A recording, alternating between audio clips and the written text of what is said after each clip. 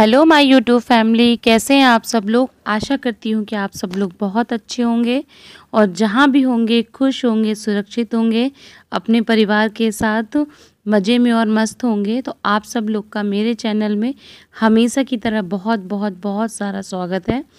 तो बस ये जो ब्लॉग है वो कल का है, बस वॉइस ओवर मैं आज कर रही हूँ। और आज ही मुझे टाइम लगा, इसलिए मैं आज पोस्ट कर रही हूँ तो ये मॉर्निंग का ब्लॉग है। तो यहाँ पे मैंने शुरू कर दिया था अपना मॉर्निंग रूटीन मतलब घर की साफ़ सफ़ाई। तो बस यहाँ पे मैं लगा रही हूँ झाड़ू, और उधर देखा आपने पूर्णिमा सो रही है। तो इस समय जो हम लोग लगाते हैं ना, कूलर बाहर वाले रूम में, नीचे ही बिस्तर लगा के सोते हैं, क्योंकि गर्मी इतनी ज़्यादा है। कि जैसे अंदर वाले रूम में कोई भी विंडो वगैरह नहीं है तो सफोकेशन बहुत होता है तो बाहर वाले रूम पे विंडो है। वहाँ पे लगा जो डोर थोड़ी देर तक खुला रहता है ना तो बहुत अच्छा कूलिंग करता है। तो किसी दिन आपके साथ शेयर करूँगी कैसे मैं नाइट में मतलब बिस्तर लगाते हैं हम लोग। अभी तक शेयर नहीं किया था आप लोगों से। तो बस यहाँ पे देखिए, मैंने दोनों कमरों में अच्छे से लगा दिया है झाड़ू। तो यही है मॉर्निंग का ब्लॉक क्लीनिंग वाला। उसके बाद बस मैं यहाँ पे लगा रही हूँ पोछा। तो प्लीज़ यार, आप लोग सपोर्ट कीजिए। इस समय आप लोग बिल्कुल भी सपोर्ट नहीं कर रहे हैं। और बहुत लोग मुझसे पूछते हैं, इंस्टा में हैं आप? तो सॉरी, मैं इंस्टा नहीं यूज़ करती हूँ। इवन इस टाइम पे तो मैं कोई भी सोशल मीडिया नेटवर्क नहीं यूज़ कर रही हूँ क्योंकि इंस्टा यूज़ करने में कोई दिक्कत नहीं मैं यूज़ कर सकती हूँ। बट उसमें भी जब थोड़ा एक्टिव रहो, तब तो जब तो मतलब मज़ा आता है काम करने में। बट अगर आप एक्टिव नहीं हो तो फिर मज़ा नहीं आता है काम करने में। इसलिए मैं इंस्टा वगैरह नहीं यूज़ कर रही हूँ। यूट्यूब भी मैनेज कर लूँ, यही बहुत बड़ी बात है अभी मेरे पास। तो बस मैंने अंदर की पूरी क्लीनिंग कर ली है। ये है हमारे यहाँ का पोर्च एरिया तो यहाँ पे भी मैं लगा देती हूँ झाड़ू। सॉरी पोछा लगा रही हूँ। झाड़ू तो ऑलमोस्ट लगा दिया था मैंने। और वैसे यहाँ पे नीचे झाड़ू नहीं लगाती। पानी डाल के मैं मोस्ट ऑफ़ टाइम साफ़ कर देती हूँ। तो अभी जो पोछे का जो बचा हुआ पानी रहेगा ना, उससे मैं साफ़ कर दूँ, कर दूँगी इसको। नहीं तो बाकी रहें तो फिर एक्स्ट्रा पानी ला करके साफ़ करते बट अभी अंदर पोछा लग गया ना तो गंदा हो जाएगा, इसलिए एक्स्ट्रा पानी नहीं, इसी पानी से मैं इसको पूरा साफ़ कर दूँगी। उसके बाद बस नहाने वर का काम रह जाएगा। तो ये जो अभी मॉर्निंग का जो टाइम था ना सिक्स क्लॉक ओ क्लॉक हो गए थे। आप धूप से समझ भी सकते हो, क्योंकि हल्की हल्की धूप निकल आई थी। सो गुड मॉर्निंग तो जस्ट मैं अभी नहा के आ गई हूँ और आज है एकादशी।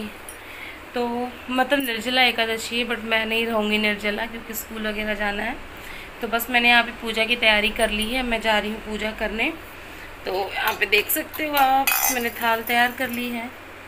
ये बाहर सूर्य भगवान को, की पूजा के लिए लेके जा रही हूँ। तो बस चलिए फटाफट पूजा करती क्योंकि मेरे स्कूल जाने का टाइम भी हो रहा है, मुझे स्कूल भी जाना है। तो पूजा कर लूँ, फिर चाय वाय सब बना के फिर जाऊँगी स्कूल। और ये छोटी सी बाल्टी में लेके आई हूँ इस पर, देखिए। ये मेन मतलब ये ना जैसे तुल, तुलसा में पानी डालना है या सूर्य भगवान में पानी डालना है, और फिर अंदर भी ला करके इससे पूजा कर सकते हैं। तो बहुत परेशानी होती थी मुझे बट फाइनली अब मैं ये लेके आ गई तो मुझे कोई दिक्कत नहीं है। तो चलिए, पहले बाहर सूर्य भगवान को अर्घ दे देते हैं, उसके बाद फिर मिलते हैं आपसे। तो यहाँ पे मैंने सारे भगवान को स्नान करा के उनकी जगह पे रख दिया है। उसके बाद यहाँ पे लिया लड्डू गोपाल जी को, क्योंकि विशेषतर आज उनकी पूजा होती है। तो यहाँ पे पहले मैंने उनको जल से स्नान कराया। उसके बाद मैंने यहाँ पे पंचामित्र से स्नान कराया है। और उसके बाद वापस से जल स्नान करा के इनको मैं चंदन का अच्छे से लेप लगा करके इनका स्नान कराऊँगी। कहते हैं कि मतलब मैंने एक वीडियो देखा था उसमें कहते हैं कि मतलब चंदन शीतलता देता है शरीर को ठंडक पहुंचाता है। तो इनको पूरे शरीर में इनका चंदन मल करके उन्होंने रखा था। तो मैं तो ऐसा नहीं करती हूँ बस स्नान करा देती हूँ। और कहते एकादशी के दिन हमें जल का दान करना चाहिए। जितना हो सके उतना लोगों को आज के दिन जल पिलाना चाहिए। फूलों में सज रहे हैं श्री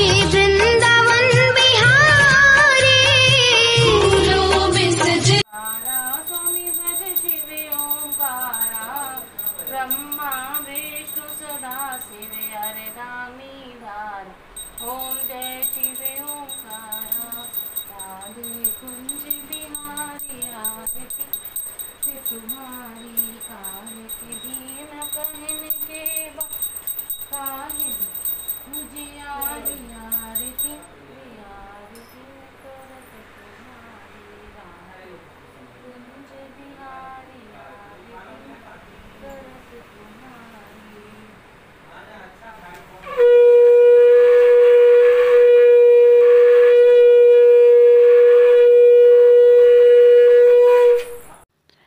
यहाँ पे आप देख सकते हैं, मंदिर मैंने कैसे डेकोरेट किया है। और ये जो आम आप देख रहे हो ना, आम मैंने इसलिए चढ़ाया है क्योंकि विशेष तर एकादशी में और इस वाली एकादशी में तो आम चढ़ाना चाहिए और कच्चा अगर आम आपके पास है तो उसे विशेषतर चढ़ाना चाहिए। तो मेरे पास कच्चा आम था तो जो मैंने भगवान जी को चढ़ा दिया है। तो कैसा लग रहा था मेरा मंदिर कमेंट्स करके आप बताना। उसके बाद फिर मैं चली गई थी चाय और खाना पीना बनाने और आज मैं काफ़ी लेट हो गई थी। तो हालाँकि मैंने एक नोट डाल दिया था कि आज मैं लेट हो जाऊँगी और यहाँ पे मैं रेडी हो रही हूँ स्कूल के लिए। तो सूट तो मैंने वही डाला है जो मैंने पहना था, बस थोड़ा बहुत टचअप कर लेंगे। टचअप क्या? मतलब एक तरह से क्रीम जो भी लगाना रहेगा, वो सब लगा लेंगे। ज़्यादा मेकअप तो हम लोग करके नहीं जाते हैं स्कूल नॉर्मल मेकअप ही करते हैं। वही पाउडर क्रीम लाइनर तो या तो काजल लगाना हो, काजल, बिंदी तो यही सारा मेकअप रहता है रेगुलर रूटीन का। तो बस यही सब मैं कर रही हूँ बस हम निकलूँगी स्कूल के लिए। हेलो फ्रेंड्स गुड आफ्टरनून तो बस जस्ट अभी मैं स्कूल से घर आई हूँ। तो मुझे लगा सुबह फिर क्या हुआ था पूजा करने के बाद? मैं भूल ही गई अचानक से इतना जल्दी जल्दी मुझे काम करना था कि मैं भूल ही गई कि वीडियो वीडियो लगा आ, मतलब वीडियो शूट करने का। तो सुबह चाय वाय पी के फिर खाना बना करके पूड़ियाँ तली थी मैंने।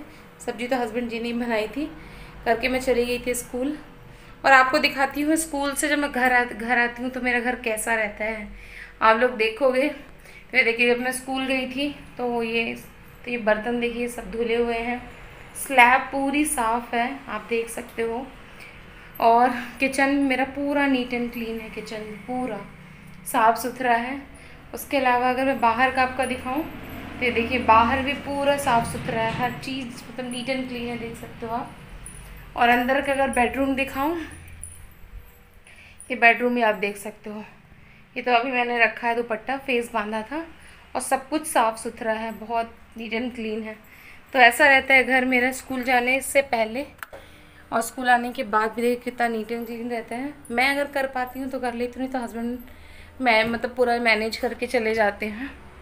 क्योंकि देखिए, अगर हम दोनों को वर्किंग करना वर्किंग में है तो दोनों की रिस्पॉन्सिबिलिटी है कि हम घर भी संभालें और बाहर की जॉब भी संभालें। मेरे चेहरे में दिख नहीं रहा होगा, पूरा पसीना पसीना अभी मैं स्टाई ही हूँ।